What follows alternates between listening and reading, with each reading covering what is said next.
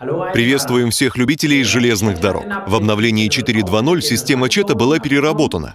Сегодня мы внимательно рассмотрим внесенные изменения. Некоторые из этих моментов мы уже упоминали в ролике о новом интерфейсе. Чат был переработан и стал более читабельным. Окно чата больше не прозрачное. Кроме того, чат откреплен от других окон и больше не прыгает в сторону, когда вы что-то открываете, а остается скрытым. Конечно, если вы не поместите его куда-нибудь в другое место экрана. Теперь вы можете передвигать окно чата, менять его размер на свое усмотрение или же полностью скрыть, если он вам пока не требуется. Структура окна чата теперь близка к классической версии. Из Steam Over Europe остался комби-чат. Здесь в настройках я могу выбрать каналы.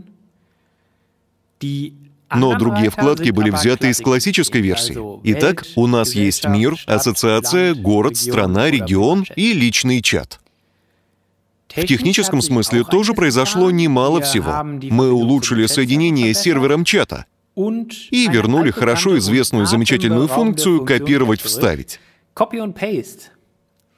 Копирование текста в Steam Over Europe было очень сложным. Теперь текст можно легко выделить и скопировать обычными сочетаниями клавиш Ctrl-C и Ctrl-V.